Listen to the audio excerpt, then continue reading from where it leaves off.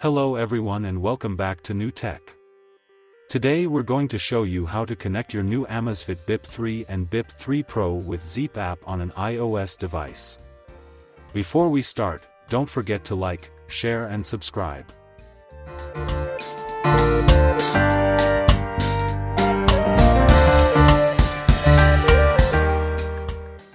So, let's begin here immediately, we have here the new Amazfit BIP 3 first and let's see how to connect it. To download the Zepp app, you can find it on Play Store by name, or you can find it by your QR code on your watch, you can scan the QR code and it will give you the link to download it. Hit install and wait until it's done.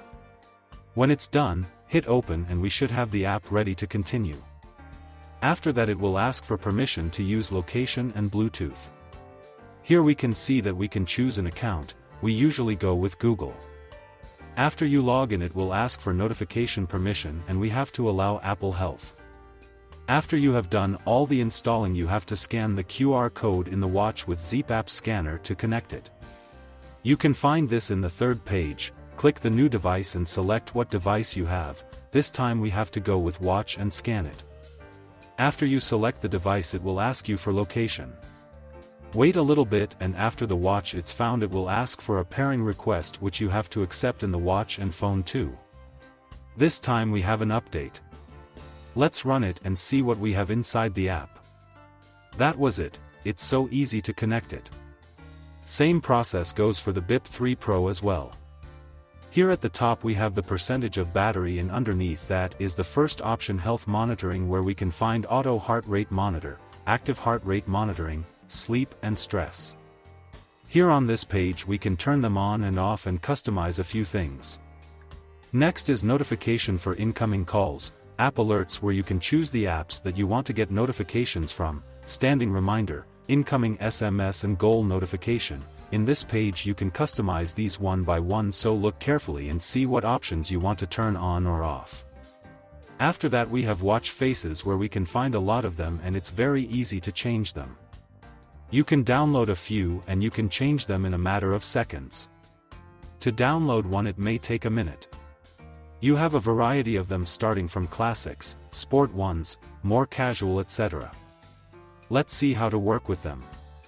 Next we have vibration where we can see vibrate for incoming calls, watch alarm, app alerts, standing reminder, SMS, emails, goal notification and to-do list. Also here we can customize the vibration for every app or call. In watch settings we will find language and band location. App list management we can customize the order of the apps in the menu same as we saw before. Here you can put apps that you use more often at the top so you can access faster. Here you can see how it looks after the change of order. Here we have some apps like, weather, alarm, to-do list and word clock. Find Watch, Discoverable, Activity Heart Rate Share, Real-Time Data, Run in Background, Lab where we can connect the camera, this way we can control the camera from the watch. Let's try this option and see how it works. System Update and About this device are the last options in this page.